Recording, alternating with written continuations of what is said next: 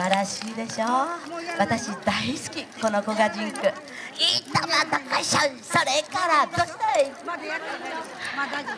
そして私たちは昔からある文化をこれからも継承していきたいな。それはこういうちっちゃい子子供ちゃんたちに伝えていきたいなって思っています。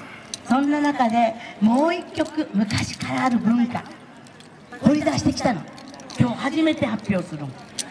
子がとっちゃか人生っていうんです。聞いたことある？